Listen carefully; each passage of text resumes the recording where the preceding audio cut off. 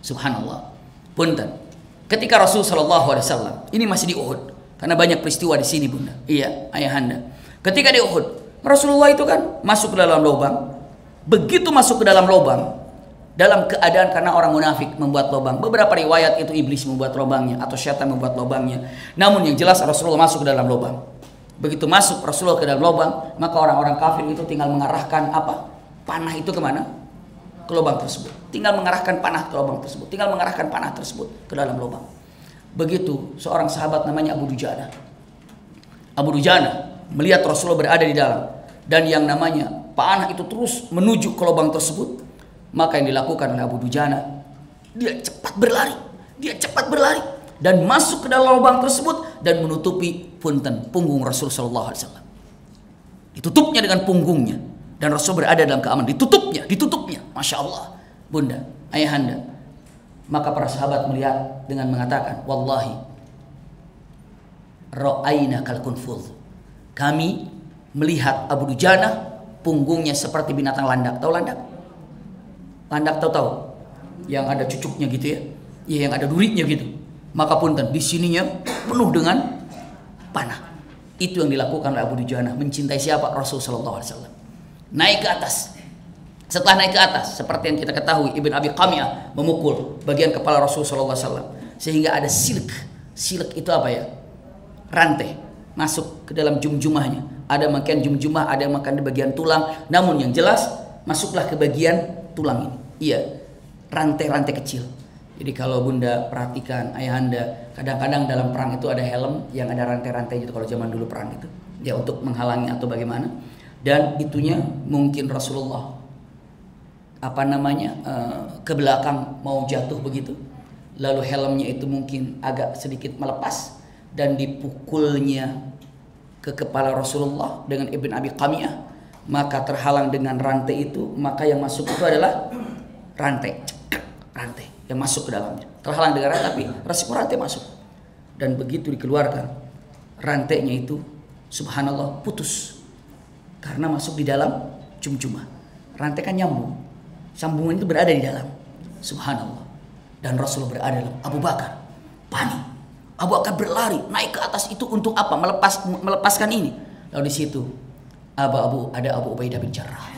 Kata Abu Ubaidah bin Jarrah mengatakan, Abu Bakar, izinkan aku untuk melepaskannya. Izinkan aku untuk melepaskannya. Dilihat di dalam. Kalau menggunakan pedang takut menyakiti.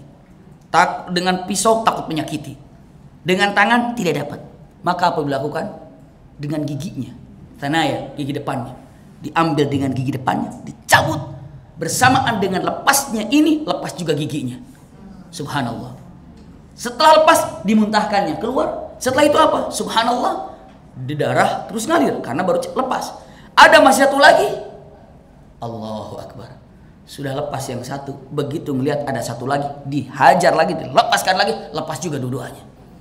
Bagaimana cinta sahabat ini pada Rasulullah SAW sehingga dia ini punten-punten lepas giginya demi apa pada Rasul Sallallahu Alaihi Wasallam darahnya mengalir darahnya mengalir terus mengalir terus mengalir punten bunda dalam keadaan mengalir darah ini untuk menyetopnya seperti apa caranya dilap dilap tidak. Bagaimana cara ngelapnya? Nggak ada tisu nggak ada apa nggak ada apa.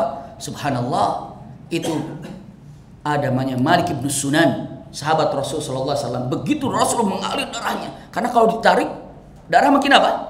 Mengalir. Sampai kami tidak bisa melihat wajah Rasulullah karena darah kemari semuanya.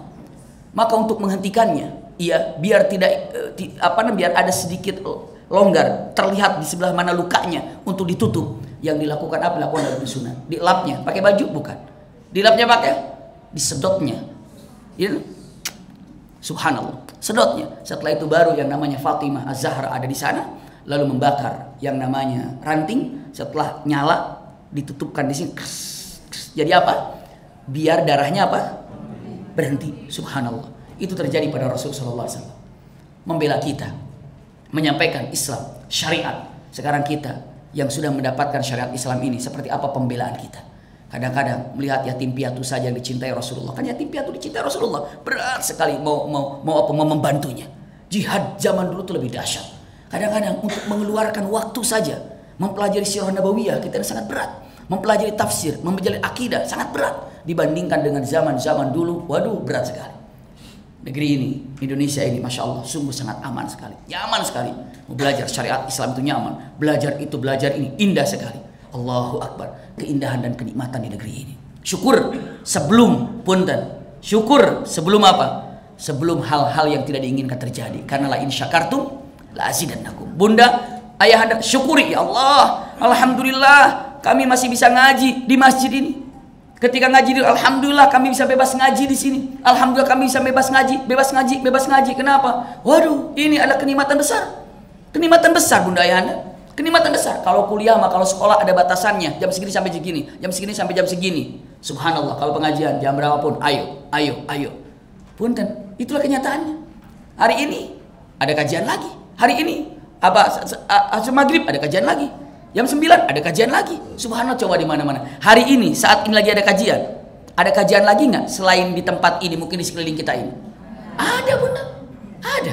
Iya. Di sini ada kajian. Mungkin nggak nyampe 2 kilo ada kajian lagi di rumahnya. Oh, subhanallah. Tolong syukuri. Tolong syukuri dan husnudzan selalu pada Allah Subhanahu wa taala. Bunda, saya akan sampaikan satu hal yang luar biasa. Bunda, tidak perlu takut ayahanda dengan yang namanya virus corona yang sekarang ini disebarkan itu segala macam segala macam. Punten, kita mau orang beriman. Kita mau orang yang beriman. Tawakalnya pada Allah Subhanahu wa taala. Kita ini punya Allah Subhanahu wa taala. Husnudzan. Siti Aisyah sedang sakit panas. Tiba-tiba Rasul bertanya, "Kenapa Aisyah?" Aku sakit panas ya Rasulullah dengan mengatakan kalimatnya, "Wahai hakil," uh, dikatakan, "Wahai hakil humma." Aduh, seakan-akan mengatakan bahasanya kalau bisa dengan mengatakan kayaknya dasar ini penyakit panas gitu ya. Jadi kadang-kadang menyalahkan apa? Penyakit. Dasar ini sakit panas. Rasulullah eh lah kamu jangan melaknat atau memarahi penyakit panas. Itu rahmat dari Allah. Lalu Rasul mengatakan tohurun lagi. Kamu bersih. Masya Allah. Bahkan kamu jauh lebih sehat. Dan kamu akan sehat dan kamu akan baik langsung Siti Aisyah mengatakan Alhamdulillah amin ya Rasulullah itu kata siapa Rasulullah. Tiba-tiba, tiba-tiba besoknya ada lagi laki-laki sakit panas. Sakit panas saja. Rasulullah katakan, kenapa kamu? Jawabannya sama. Wahai akil humma. Celaka ini. Kurang ajar nih penyakit humma ini. Penyakit panas ini. Rasulullah bilang, oh jangan gitu. Katakan, itu rahmat dari Allah. Ini untuk membersihkanmu. Ini adalah untuk menjadikan kamu lebih sehat. Apa jawaban laki-laki itu? Apaan? Membuat sehat apa? Justru saya membawa sakit. Bahkan banyak orang yang mati gara-gara ini. Apa kata Rasulullah? didoakan baik tidak mau, tapi kamu malah mengatakan demikian, ya sudah apa yang kau katakan tadi terjadilah kepada kalian. Maka tidak lama wafatlah orang itu. Bisa dipahami bunda? Iya, tidak lama orang itu meninggal. Kenapa? Punten usikum wa iya ya nafsi bitaqwallah karena semuanya berada di dalam apa? Punten apa? Hati kita husnudzon apa yang terjadi? Nggak perlu dengan takut bagaimana bagaimana kita punya Allah. Kita punya Allah, kekuatan itu ada di Allah Subhanahu wa taala. Punten Bunda, Ayahanda, kalau lihat bayi, bayi, bayi punya kekuatan nggak? Bayi punya kekuatan nggak? Nggak ada. Bayi itu nggak punya kekuatan, lemah. Ibu sentil aja nggak ngelawan. Ibu jewer aja nggak ngelawan. Bayi. Tapi punten, bayi itu Allahu Akbar.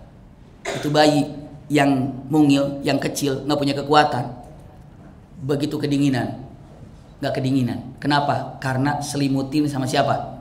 Orang tuanya. Begitu mau pergi ke mana pergi ke mana kepanasan nggak kepanasan karena ditutup sama siapa? Orang tuanya pertanyaannya. Yang kuat itu bayi apa orang tuanya? Yang kuat itu orang tuanya. Bayi itu lemah tapi yang kuat siapa? Orang tuanya. Kok orang tuanya? Iya. Kok bayi bisa kuat? Bayi itu tidak kuat tapi orang tuanya yang kuat yang melindungi bayi sehingga bayi itu aman. Bisa dipahami bunda Punten, orang tua sayang kepada anak. Betul, karena sayangnya orang tua kepada anak, maka menjaga apa pun dan dijaga apa pun. Itulah orang tua kepada anak. Kita tuh lemah, tapi kita punya Allah. Allah akan menjaga kita. Lebih daripada menjaga orang tua kepada anaknya. Karena Allah lebih sayang kepada kita, jauh berlipat ganda ketimbang, punten bahasanya, orang tua kepada kita. Bisa dipahami bunda ya anda? Jadi istilahnya apa? Sayangnya kita kepada siapa? Allah subhanahu wa ta'ala dengan husnudzan yang ada. Saya lanjutkan. Alhamdulillah,